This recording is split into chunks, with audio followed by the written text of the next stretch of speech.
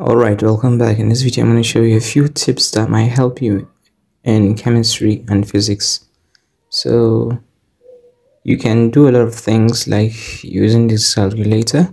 First, uh, you, if you're not using this calculator, if you're using the other type, you can also do the same thing.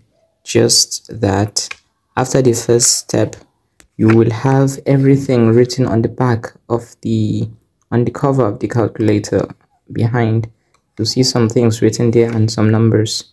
So the first thing you do is after turning on your calculator click press shifts to get your constant. Click on number seven. You can see this const written there. If you're using the other calculator also do the same thing. Just click on that. If you're using the other calculator just look for whatever constant you want on the back of the calculator and select the number. Choose the number. So in this case you can choose different types of constants. You have the universal constant, electromagnetic, atomic, and nuclear. Physiochem. Physiochem basically means uh, physics and chemistry. And then we have these adopted values and others. So let's go to so let's go to physi physiochem. So physical chem. If you go click on number four, can see a lot of constants over here. So like number six yeah that's universal that's the gas constants r. And then number three over there that's avogadro's number. So in case you forget any of these constants you can just come back here and find everything here. And that number nine over there the sigma that's stefan boltzmann's constant. So we have all the constants over here you can see them. And if you come over here to atomic and nuclear you can see some other constants that you know there is the same sign as normal. So if you see any sign that you know you can basically just use it. So we have the universal constants over here. You see big g number seven that's the universal uh, gravitational constant. And yeah we also have the electromagnetic constants all these are electromagnetic constants. So if you go down you can see the adopted values. Values that are gotten from other values like atm and the rest. So yeah. And you can also see one more over here. So anyways these are if you're using the calculator as i said you can see them all at the back of the calculator the cover of the calculator. So let's go to physical chem and see so you see this number three that's avogadro's number. So you click on number three and click equal to.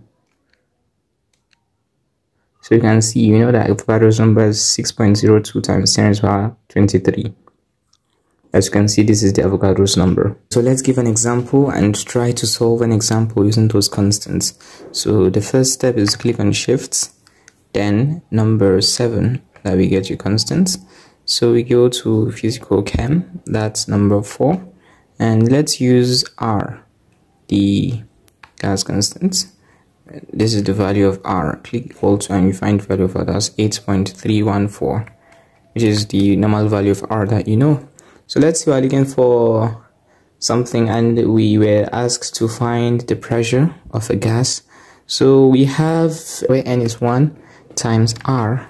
So we click on shift and then number seven that is constant physical chem number four and then we can see that's number six. Then rt let's say we're giving our 20 our temperature as 273 and then over v and then let's say we're given our volume as 27.4 so this is our pressure using that value. So this is an easy way that might help you when solving physics chemistry and physics questions. You can use your calculator. So something else that might help you which is also the same step if using the other type as I said before everything just written at the back of the calculator using the other type of calculator. So using this one you just click on shifts over here then number eight that's conversions. You can make different types of conversions over here. We have length area volume mass. We have velocity pressure energy power and finally we have temperature. So let's take temperature for example. The temperature is for when we want to convert from degrees celsius to degree fahrenheit and then we have pressure velocity and others. Let's take pressure for example number two. So we can see all the different units for pressure. You want to convert from atmosphere to pascals from millimeter of mercury to pascal pascal to atmosphere and so on and so forth. So let's say we want to convert from um, atmosphere to pascal. So let's take the first one. Number one all you have to do is just write down your value for atmosphere go left then you click on the amount you want to convert the number.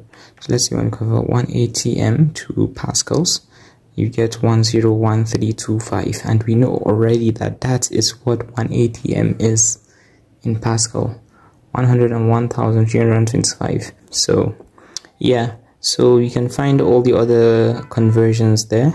And good luck on your exams.